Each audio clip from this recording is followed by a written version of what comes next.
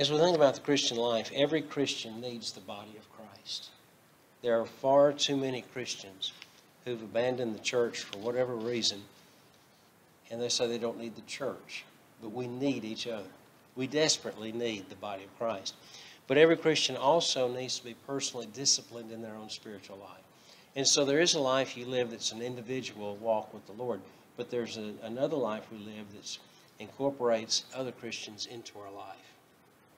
Life can throw a curveball when we least expect it, and it happens. Everything can be going so good, and then all of a sudden, it may be a phone call, it may be an incident, but life throws us a curveball.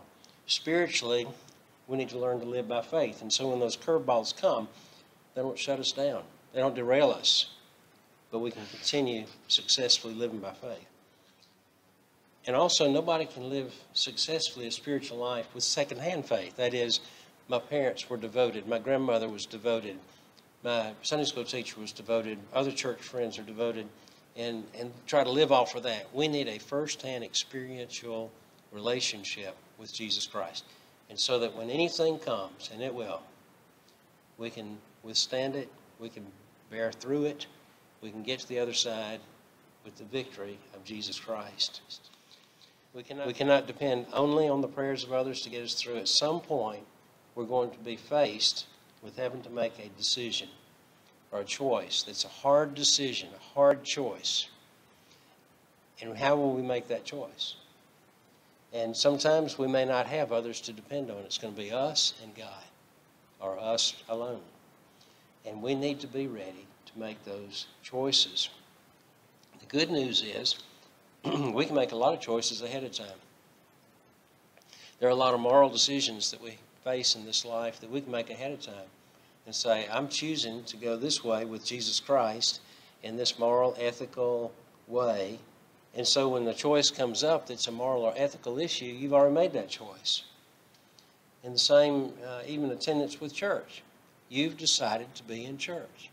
You've missed some other things in this world because you've made a decision to be in church, to worship, and to help out this body of Christ.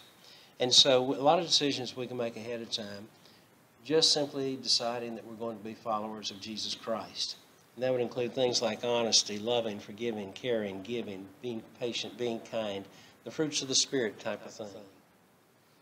Well, first of all, Paul instructed the church to work out their salvation. That doesn't mean they're working for their salvation. It doesn't mean they're working at their salvation, but they're working it out. That is, they're making those choices for Christ.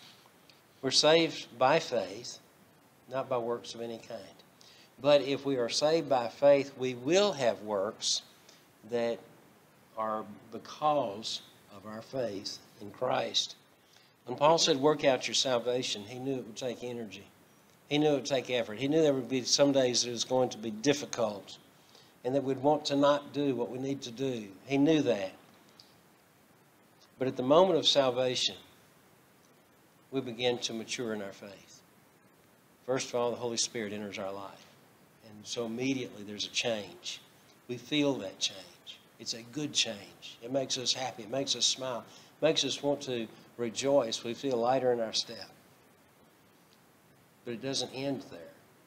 That's just the beginning. And then we work with the Holy Spirit.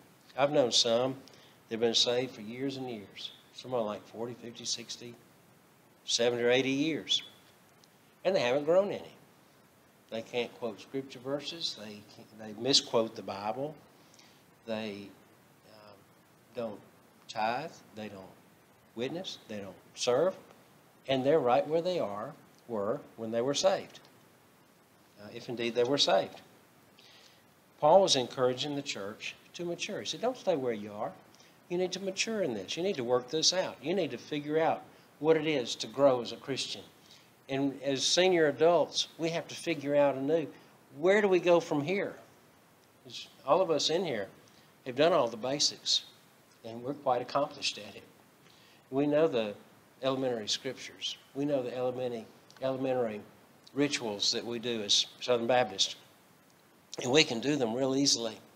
So, where do we go from here to mature even more as a Christian?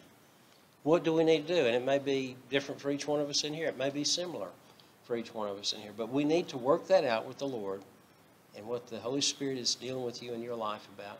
And let's continue to grow. Every hardship is an opportunity to grow spiritually. And so those hardships come, those curveballs come, and they're opportunities to grow spiritually. And if we'll take that opportunity, we need to live out the Christian life. And so he was encouraging, Paul was encouraging the church, keep growing until you're producing fruit. And then, secondly, Paul reminded the church that the strength to grow comes from God. It's not from us. You don't have to manufacture that spiritual strength, that comes from God. What we do is participate with God. We do what God wants us to do. We obey God. We serve God. In verse 13, it said, it is God, in chapter 2, verse 13, it is God at work in you both to will and to work for his good pleasure. God wills it. God comes to us. God draws us to himself unto salvation. And then he continues to draw us into that uh, obedience of his word and the will he has for our life. When we're in fellowship with God, we have access to his power. We have access to his will. But God puts within us something that says we want to grow. Have you ever had a time where you spiritually felt like you just weren't where you ought to be, but you want to do better? And you want more. You're not satisfied. That's God at work in you. That's God, the Holy Spirit, saying, drawing you to, to God, making you dissatisfied with just coasting and saying, I want to go deeper in this Word. I want to know God better than I know Him now. And so God gives us also the resources we need. Whatever God wants us to do, He enables us to do it. He gives us the resources. Somebody once said, Do all you know to do, and then God will give you some more. And one reason we may not be getting any more is we're not doing what we're told to do already and was talking about one of her students and saying, um, I didn't do these modules. Can you give me some extra work to do? And she said, the modules were the extra work. you have to do those. And sometimes we're like that as Christians. We say, God, I want to do something extra for you. And He said, Well, I've given you all this to do and you're not doing it. How can I give you extra? We need to go back sometimes to the basics and make sure we're doing all that God's asked us to do. He's, a, he's always at work in our life through the Holy Spirit. But the question is, are we cooperating? Are we listening? Are we responding to what God is calling us to do? In verse 13, it's for His good pleasure.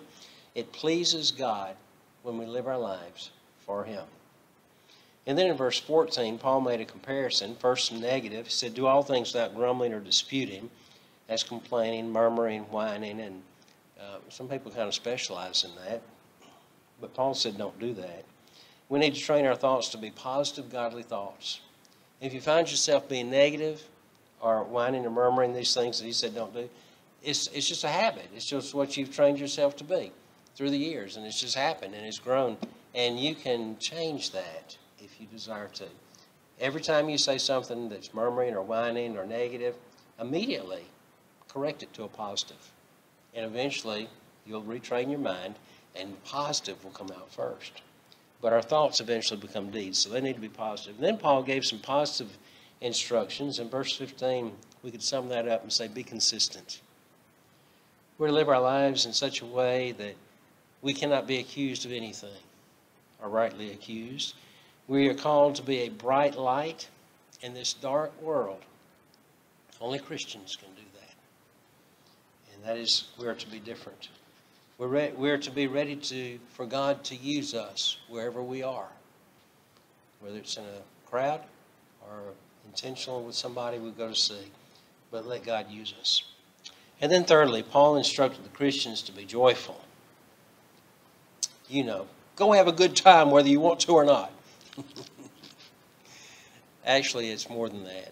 It's choosing to see the good rather than focusing always on bad. I'm, convinced that in every situation, you have good and bad. It may be weighted more toward good, it may be weighted more toward bad. But there's something to be joyful about. You can have a car wreck, mess up your car, bend the fender and all, and it really hurts your feelings. The joy is the Lord was there with you. It wasn't worse. There's joy in that. The joy is you met somebody you can minister to There's joy in that, or can be, if we choose it.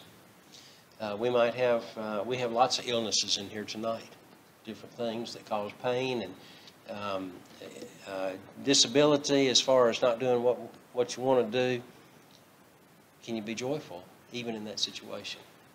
And according to Paul, yes, we're to choose the joy and not just bemoan the fact that we have something that's hurting us today.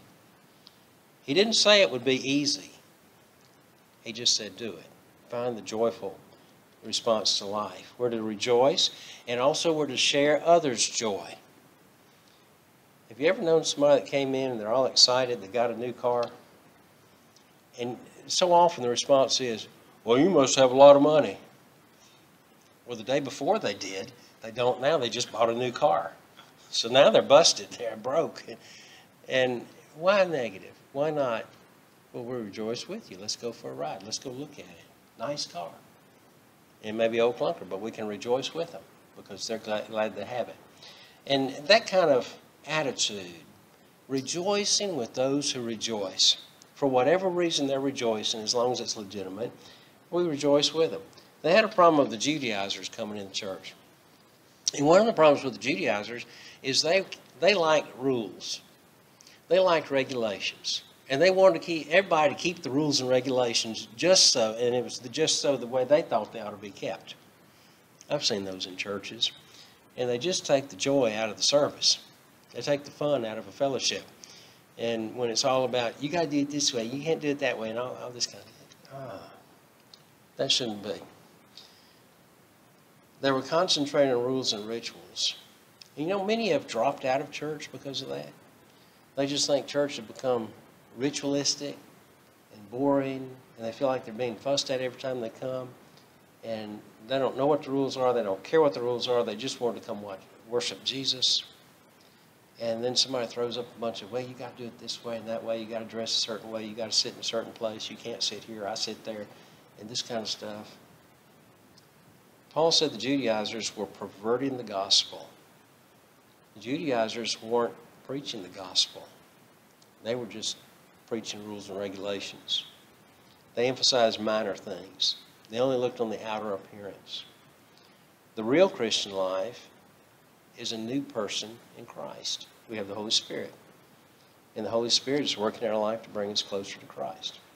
So Paul said in verse 3 put no confidence in the flesh. That's what the Judaizers were doing, in what we think or what we can do, but put confidence and trust in the Word of God. And then in verse 10, he said, I want to know Christ. He has to know the power of his resurrection and participate in his sufferings, becoming like him even in his death. Paul wanted to be fully immersed in the life of Christ. And that's our example for Christian living.